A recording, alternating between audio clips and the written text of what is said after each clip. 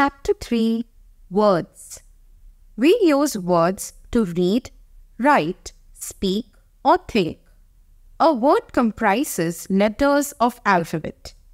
Example T O 2 B O Y boy R A T rat D O L doll C H A I R chair T O Y toy.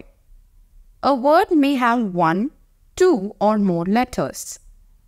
A, do, cat, rose, lotus, school, student, football.